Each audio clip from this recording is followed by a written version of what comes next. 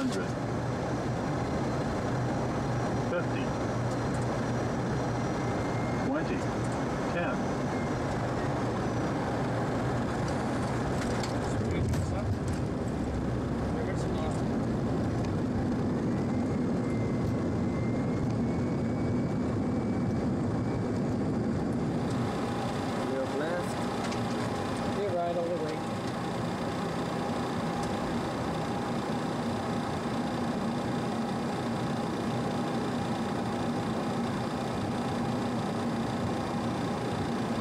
Twenty-five percent.